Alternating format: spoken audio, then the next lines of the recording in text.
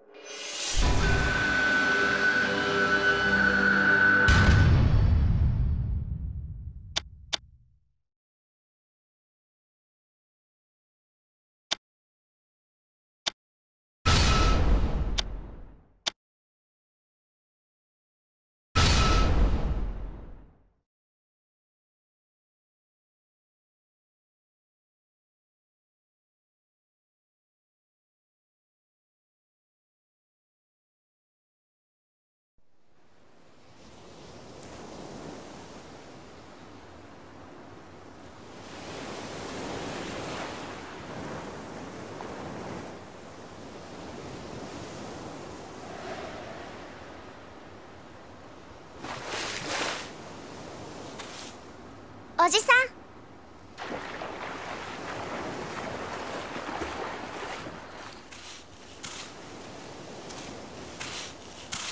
今日の晩飯だ。さあそろそろ夕飯の支度をするか。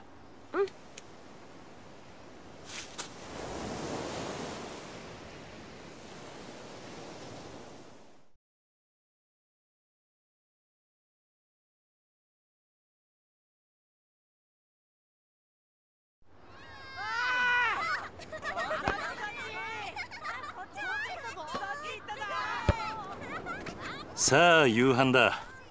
みんな席について。はーい。お腹すいた。おいしそう。うまそう。あ力也兄ちゃんだ。おいお前たちゃん野球やろうよねえね遊ぼう兄貴。どうしたんだ？何かあったのか？親父が。親父が撃たれた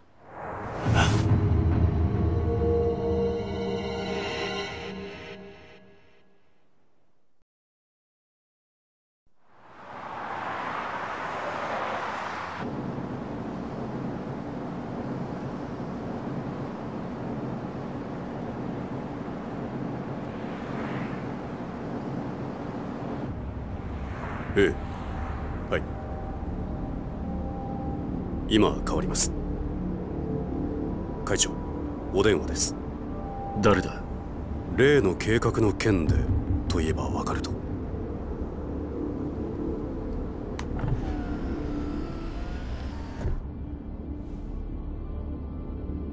堂島です。ええ。だからその件に関しては先日お断りしたはずじゃそうです。この件登場会は一切手引かせてもらいます。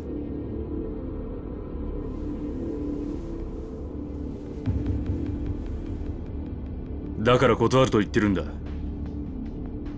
たとえ100億200億積まれても答えは同じだ。それじゃ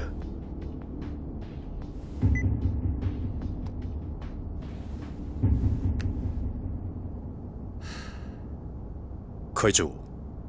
うん。今の電話例の沖縄の一件では。本当に断っていいのでしょうか？どういう意味だ？お言葉ですが今本家は直系白鵬会の上がりでやっていけてる状態です。もしあの沖縄の一件うちが引き受ければこの先10年は食っていけるだけの金が本家になだれ込みます。ざっと見積もって1000億。いやそれ以上の金が。それに今あの男に恩を売っておけば後々政界との強いパイプが。黙れ。そんなことは百も承知だ。だがあの土地は奪えね4代目の剣ですか？え登場会は四代目に何度も救われてきた。その人から居場所を奪うことはできねえ。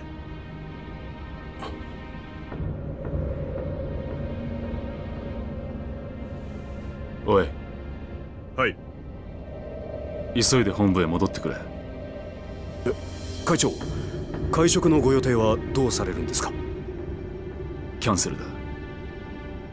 それより今沖縄の土地買収を勝手に進めるような連中が出ないよう組織を固める方が先決だ。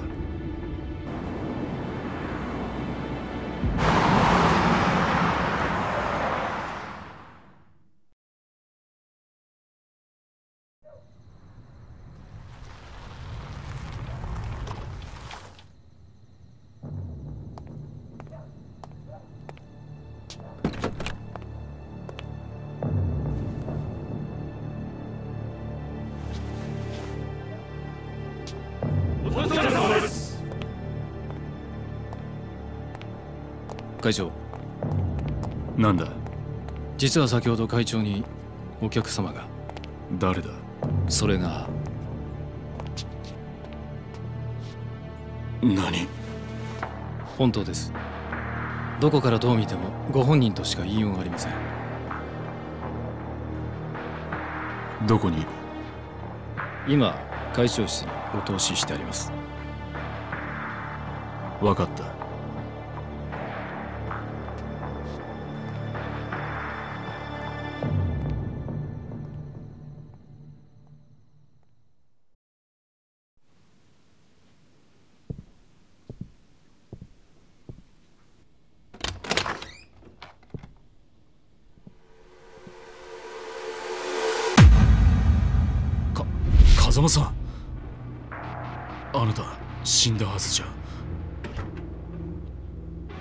せましたか？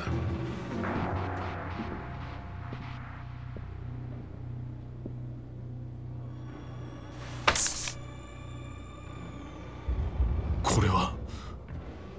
今のあなたにとって大切なものです。これは？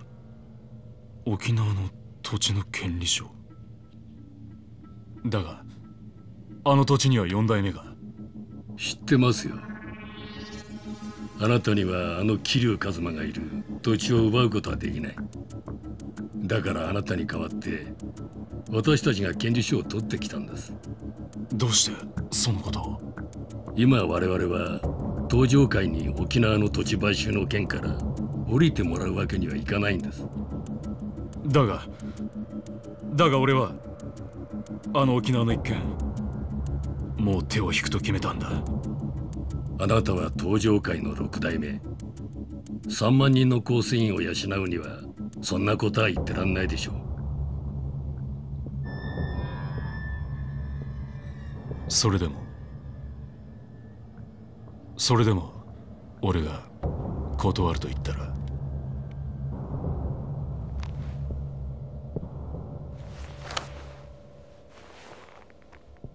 それは困りましたね。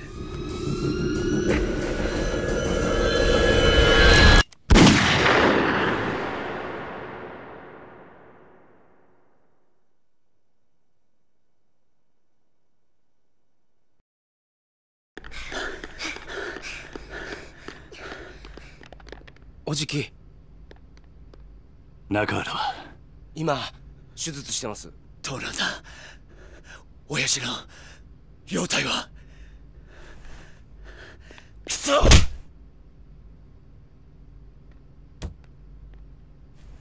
さきちゃん怖かったね。サキお前は大丈夫だったのか？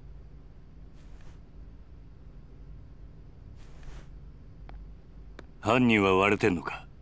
いいえお嬢と二人きりのところを襲われたんで。親父は腹に数発食らったみたいどこかの組の会士か？でいえ。多分土地買収の絡みです。事務所から例の土地の権利書がなくなってました。何？絶対玉城組の連中に決まってる。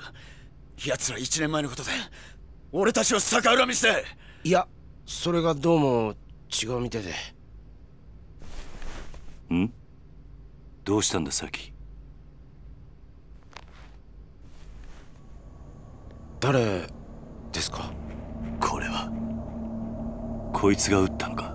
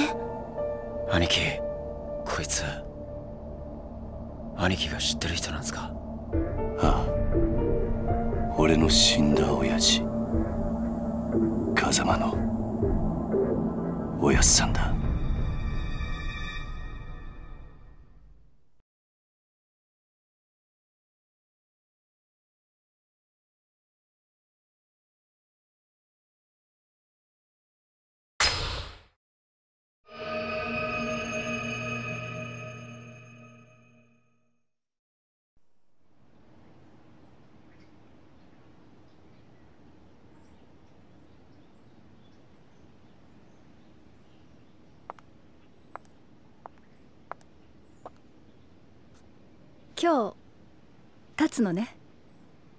ああ。そう。私もお別れを言いに来たわ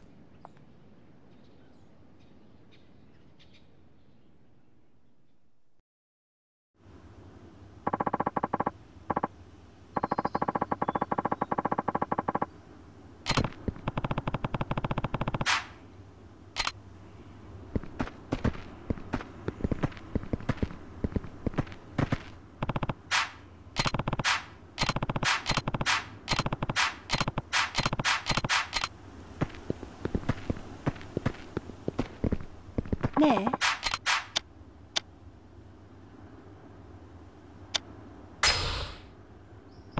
えええ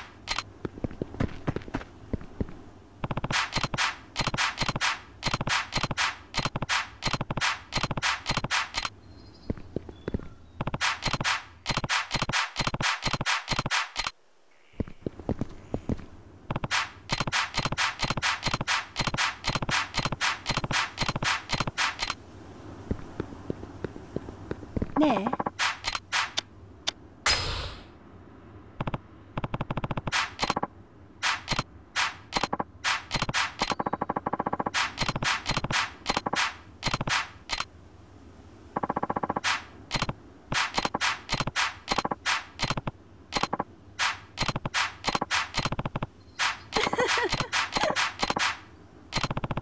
カズマ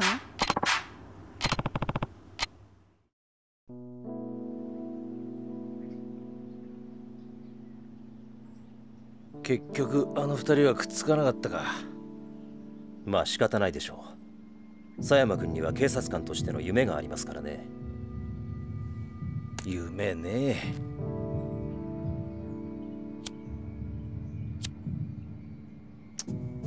ガス切れか。どうぞ。ああ悪い。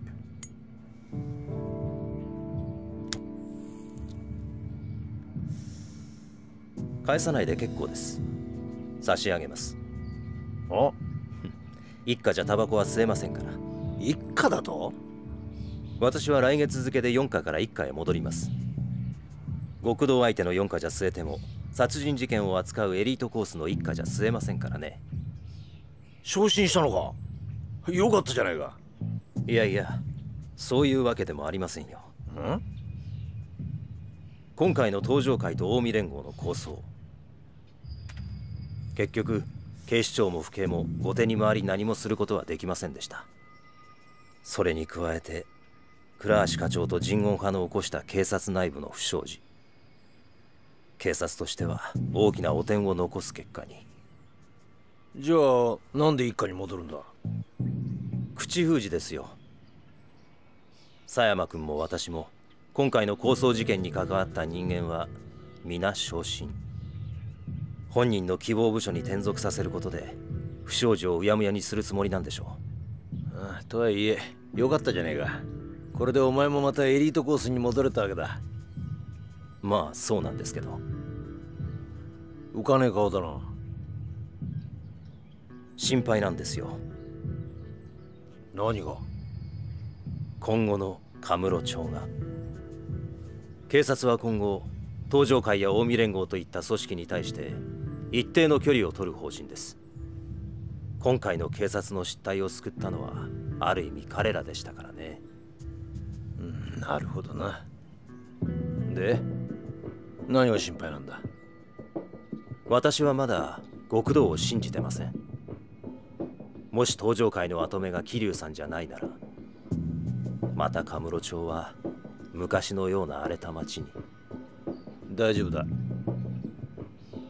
え？あいつはちゃんと考えてるよ。奴はケツの吹き方を知ってる。カムロ町を去る前にやることはやってくはずだ。それじゃあそろそろ行く？ええ。今日はカムロ町にでも行くの？ああ。和樹や優也たちに一言挨拶しないとな。それに？それに？どうしても一人話をしておかないとならない奴がいるんだ。登場会のことね。ああ。このまま行けば大悟が登場界の六代目を継ぐ。だが大悟はまだ若い。組みまとめるだけの力が足りない。登場界を支えられる人間誰か当てはあるの？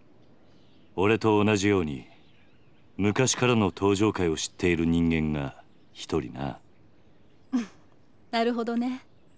けど堂島大吾に彼を飼いならすだけの度量があるかしら？あいつは誰にも飼いならされるような玉じゃねえよ。真島五郎。要は彼が今の登場界に魅力を感じるかそれだけってことね。そうだな。彼のこと説得できるかしら？やるしかねえんだ。だから俺は今日どうしても真島に会う。そして奴を説得する。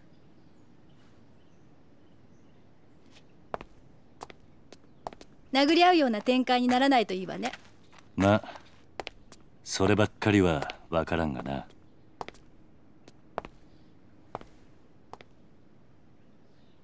気をつけてね。ああお前もな。じゃあ行ってくる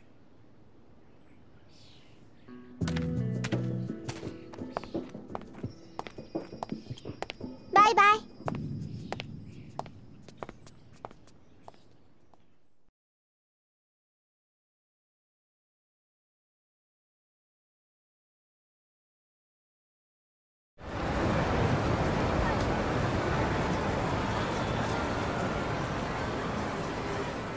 おじさんとカムロ町を歩くのも今日が最後かもしれないんだね。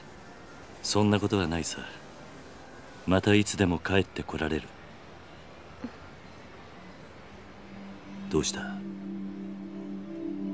今日は思いっきり遊びたい。おじさんと一緒に遊びたい。ダメ？分かった。好きなだけ遊ぼう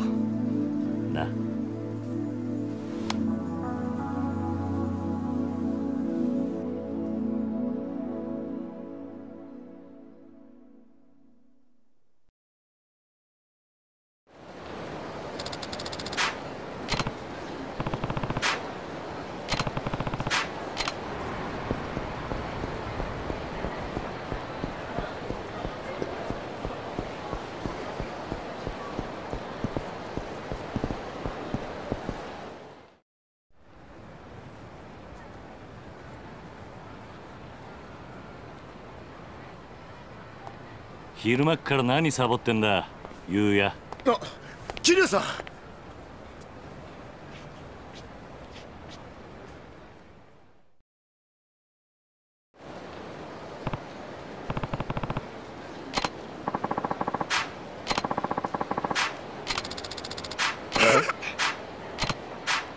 じ ゃ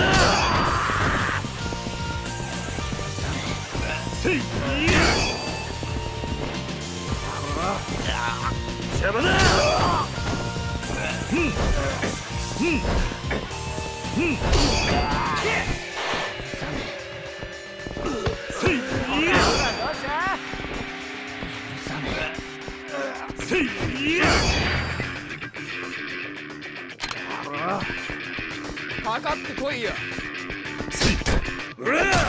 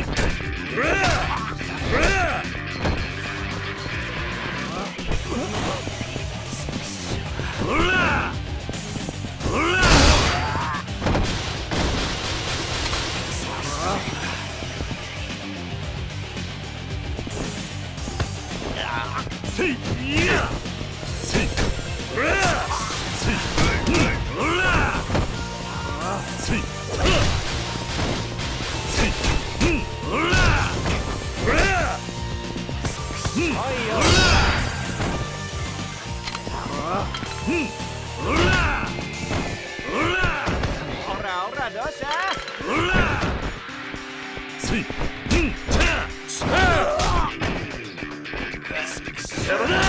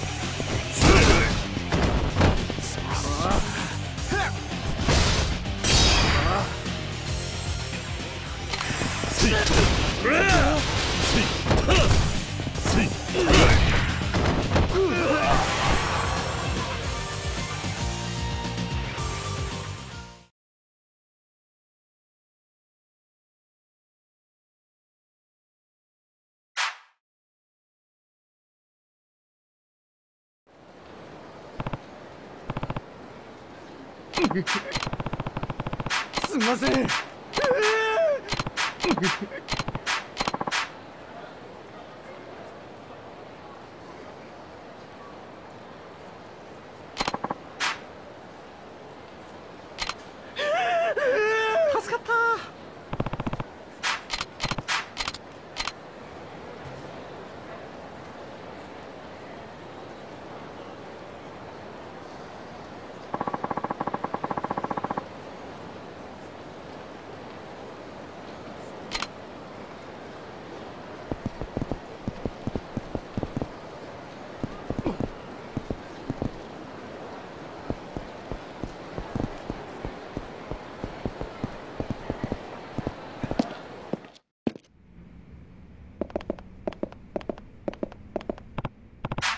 さん。ね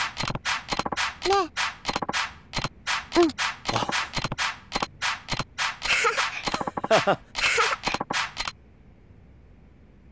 ありがとうございます。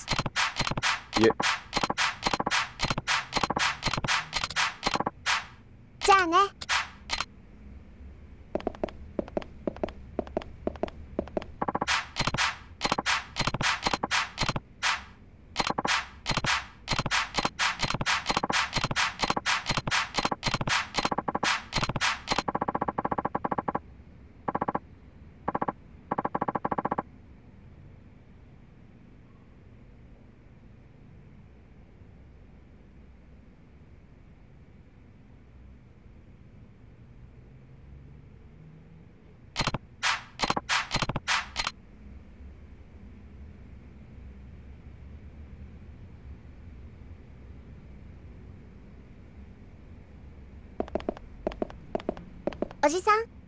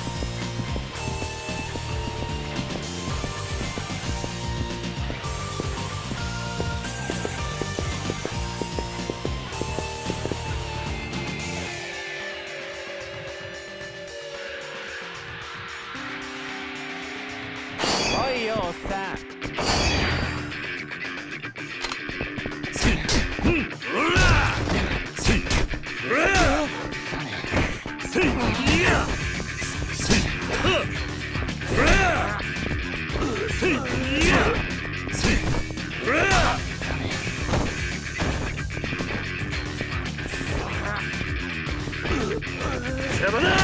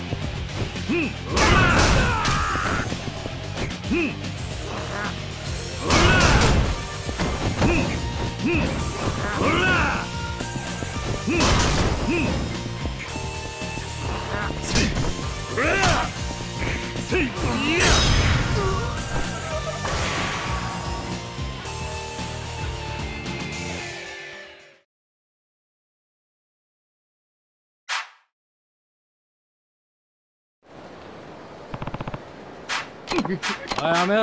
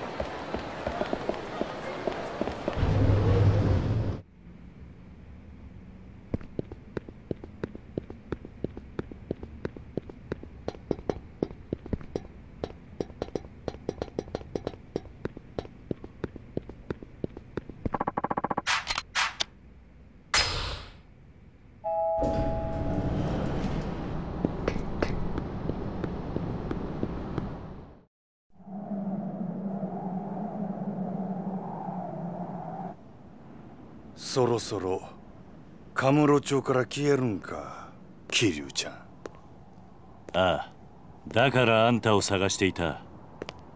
あ？どういうことや？俺はな兄さんあんたに大悟を支えてほしいと思ってる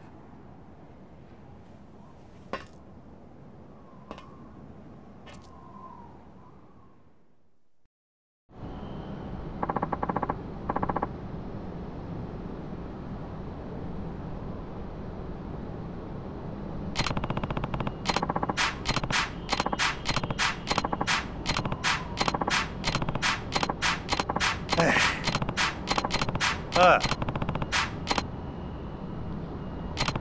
あ あ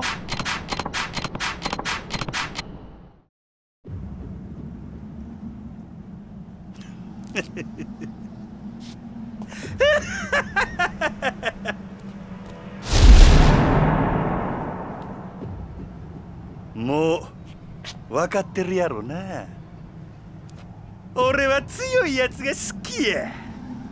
俺に命令できんのは強いやつだけや。ああ。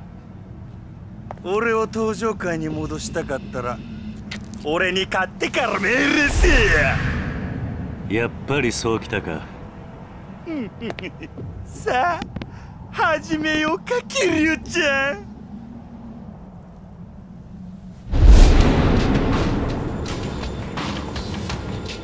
こうやって向かい合うのも久々やな。せやけど手加減はなしやで。ああ。行くで！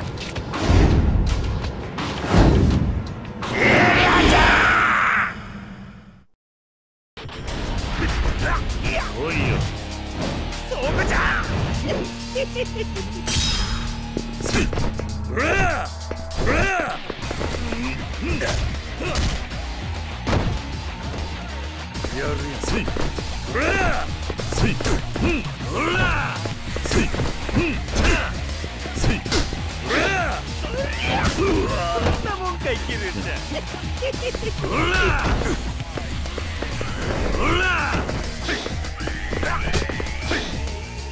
そ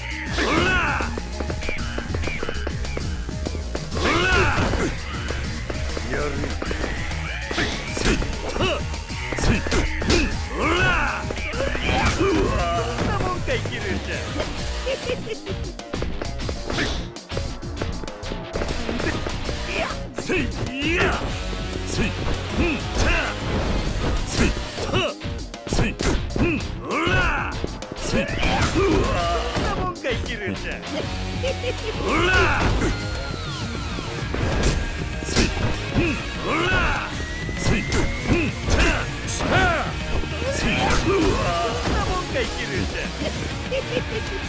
うん。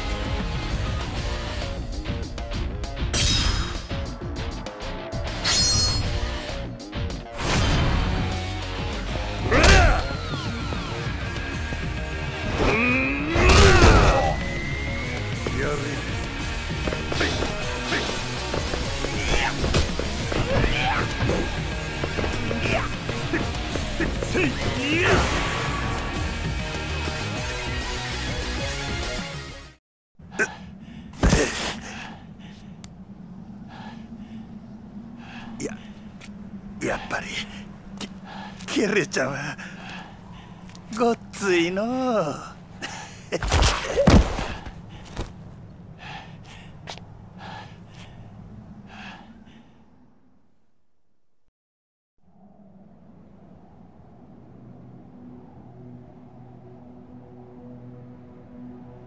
これでほんまにお別れやな。ああ。寂しくなるな桐生ちゃん。大悟のことを頼んだ。なあただ一つ気がかりなことがある。なんだ？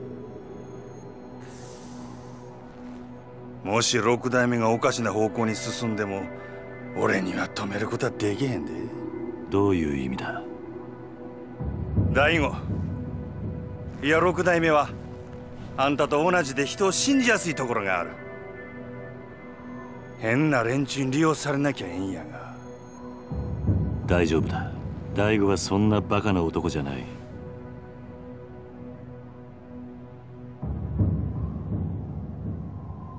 そろそろ俺は行く。登場会のこと頼んだぞ。